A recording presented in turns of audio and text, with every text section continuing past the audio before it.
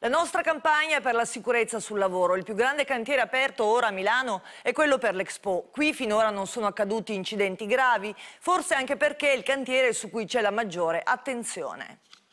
Come va la sicurezza sul lavoro? Bene, bene, grazie. Cosa vi danno per la sicurezza sul lavoro? Tutto, tutto Cioè? quello che serve. Mascherine, i guanti, tutto quello che serve, il casco. Voglio sapere, miracolo del cantiere sicuro.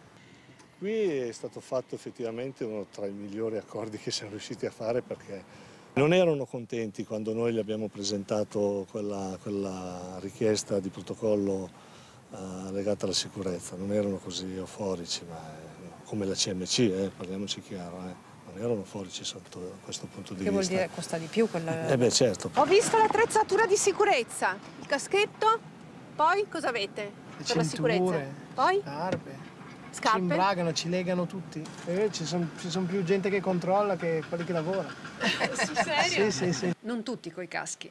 I numeri sono una sessantina di infortuni, ma che eh, si parla di, eh, questi sono documentati, solo sette infortuni con una prognosi intorno ai 30 giorni. Noi che siamo abituati a avere purtroppo i morti nel cantiere, in un cantiere di queste dimensioni, è chiaro che noi vogliamo ottimizzare e avere zero, però Il caschetto ce l'ha.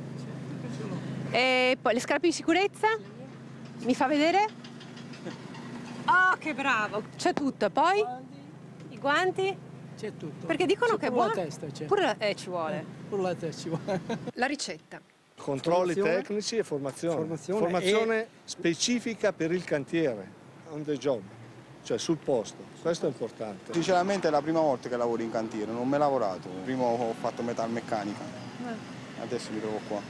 Basta che si lavori. Qualifiche alte, cantiere più sicuro. Qualifiche basse, cantiere più economico. Abbiamo saputo, abbiamo fatto colloqui persone che avevano addirittura il quarto livello eh, di, di professionalità. Loro hanno cercato di dire ti prendiamo se il livello è, se ti accontenti di un livello inferiore. Qualcuno ha accettato, qualcuno non ha accettato. Rischi potenziali, fretta per il ritardo e cantiere affollato. Saranno molte persone a lavorare. Che previsione c'è? Un- dipende, in piastra anche un migliaio di persone.